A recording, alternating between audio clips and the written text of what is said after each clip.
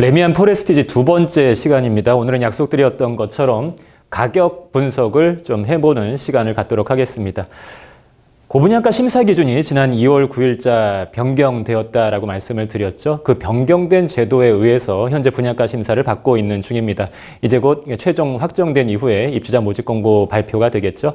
그래서 그 변경된 제도에 의해서 어느 정도 수준으로 분양가가 책정이 될 건지 한번 시나리오를 그려보고 그 기준 하에서 내가 당첨된다면 어느 정도의 시세 차익이 가능할지 따져보는 시간을 갖도록 하겠습니다. 일단 고분양가 관리 지역에 대한 개념을 좀 이해를 하셔야 되겠습니다.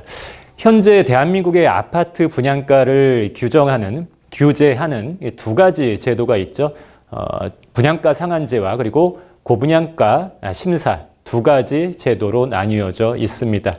분양가 상한제 대상 지역은 주택법 시행령에 따라서 국토교통부 장관이 그 해당 지역을 지정하게끔 되어 있고 고분양가 관리 지역은 주택도시보증공사가 필요에 따라서 지정하게끔 되어 있습니다. 가장 최근에 변경은 2020년 12월 18일자에 한 번 있었습니다.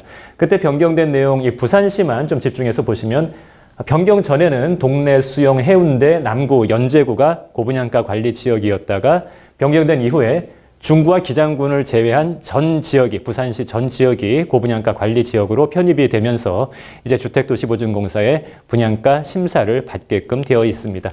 우리가 관심을 갖고 있는 이 래미안 포레스티지가 들어서는 동래구는 예전부터 이미 고분양가 관리 지역이었던 것입니다.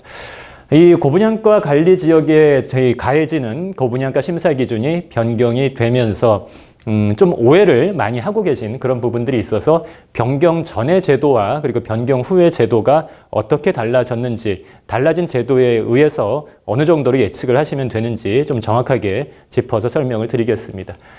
아, 먼저 과거의 고분양가 심사 기준을 한번 살펴보도록 하겠습니다.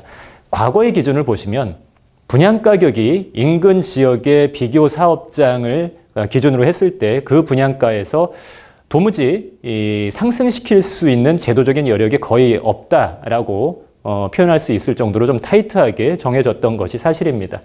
먼저 비교 대상 사업장이 가장 최근 1년 이내에 분양을 진행했던 단지가 있을 경우에는 그 비교 사업장의 평균 분양가와 최고 분양가 이내에서만 심사를 할 수 있게끔 되어 있었습니다. 어, 상승을 인정하지 않는 정도의 굉장히 강력한 엄격한 가격 규제가 되는 것이죠.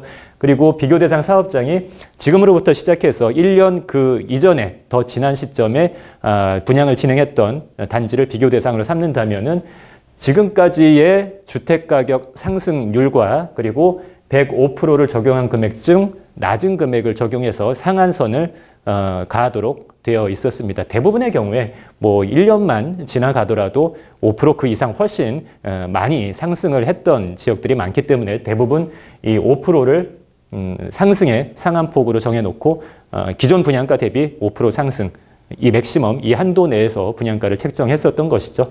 어, 예외적인 경우에 어, 준공된 아파트 어, 지난 10년 이내에 어, 준공된 아파트를 비교 대상 사업장으로 하는 것도 뭐 제도상으로는 있습니다만 거의 대부분 첫 번째 혹은 두 번째의 비교 대상 사업장 기준에 의해서 결정이 되었었습니다. 제도에서 아실 수 있는 것처럼 어, 분양가를 상승시키기가 굉장히 어려운 그런 구조였던 것이죠. 이것이 지난 2월 9일자에 이 기준이 변경이 되었습니다. 일단 전체적인 그 맥락에서 말씀을 드리면 과거 대비 분양가를 상승시킬 수 있는 그런 요인이 분명히 더 들어가 있는 것은 사실입니다만 중요한 부분은 어, 이 중간에 들어가 있는 어, 투기과열지구일 경우에는 시세의 85% 그리고 투기과열지구가 아닌 뭐 조정 대상 지역이 그 대표적인 사례가 되겠죠. 투기과열지구가 아닌 곳에서는 90 시세의 90%를 어, 상한선으로 하는 이 수준까지 분양가격을 책정할 수 있다라는 그 단편적인 문구만 보고서 어, 미디어에 노출될 때 이제부터 아파트 분양가 시세의 85%까지 혹은 시세의 90%까지 가능하다.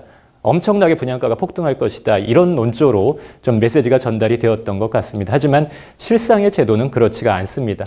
어, 시세의 85% 혹은 90%를 적용하게 되는 경우는 굉장히 예외적인 경우라고 어, 해석을 내리셔도 무방하겠습니다. 전체 세 그룹으로 비교 대상 사업장을 나누어서 A, B, C의 순서대로 어, 비교를 해보고 굉장히 특별한 조건을 갖추고 있을 경우에만 이 C에 해당하는 인근 시세 수준의 아, 아래에 나와 있는 85% 혹은 90%의 보증 위험 관리율을 곱한 그 금액을 상한선으로 해서 분양 가격을 책정하도록 되어 있는 것이죠.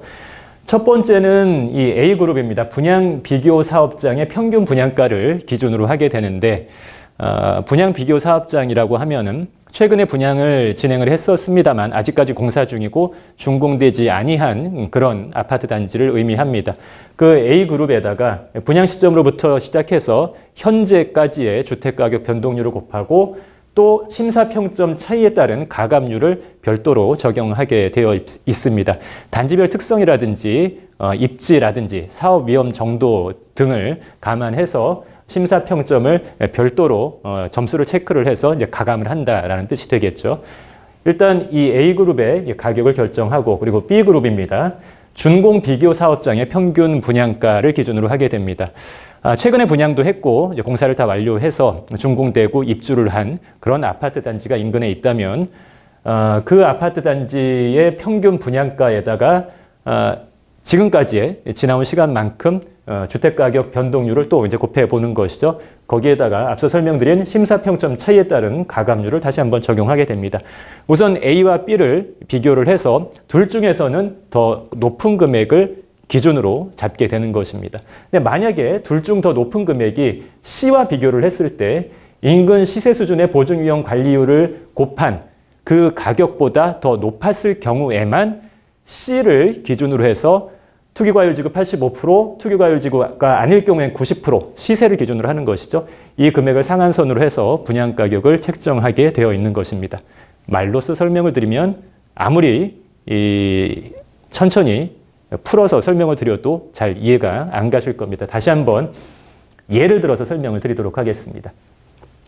조정 대상 지역에서 이제 아파트 분양을 하기 위해서 분양가격 심사를 받는 그런 경우가 되겠습니다.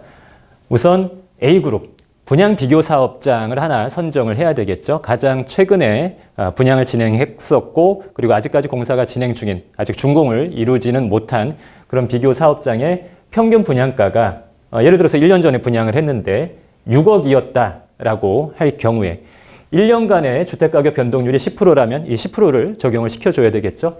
계산의 편의를 위해서 뭐 단지별 특성 등이 감안된 가감률은 그냥 1로 고정시켜 놓도록 하겠습니다. 그렇게 됐을 때 가격은 6억 6천을 상한으로 해서 이 기준점을 잡게 되는 것이죠. 그리고 B그룹입니다. 준공 비교 사업장.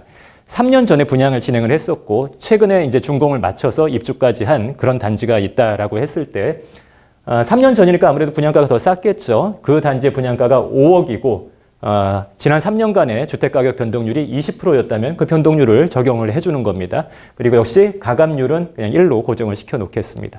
이 결과치는 이제 6억으로 나타나게 되는 것이죠. A와 B 중에서 일단은 어, 더 높은 금액을 기준으로 잡는다라고 말씀을 드렸죠. 여기에 나와 있는 것처럼 A와 B 중에서는 A를 기준으로 잡게 되는 것입니다. 그럼 이 6억 6천과 다시 한번 C와 비교를 하셔야 되겠죠. 분양 가격이 뭐 최근에 분양을 한 단지가 6억 그리고 3년 전이 5억 정도라면 현재의 시세는 대부분 10억까지 올라가 있는 주변에서 거래가 되는 어, 신축 혹은 뭐 준신축 아파트들이 10억 정도의 거래가 되는 경우 어, 지역을 불문하고 굉장히 많은 곳에서 발견을 하고 계실 것입니다. 그래서 10억으로 한번 잡아보도록 하겠습니다.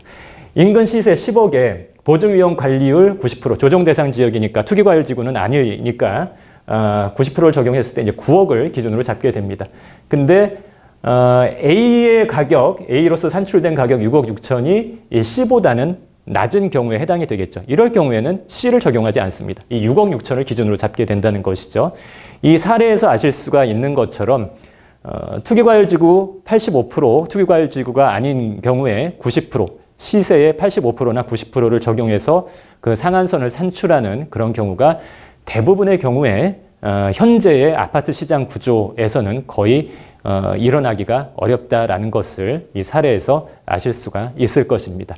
그러면 이러한 계산 구조로 어, 우리가 알고자 하는 레미안 포레스티지, 이 동래구에 새롭게 들어서는 레미안 포레스티지의 분양 가격이 어느 정도 책정될 수 있을지 변경된 제도에 의해서 실제 주변 단지를 갖다 놓고 한번 대입해서 어, 산출을 해보도록 하겠습니다.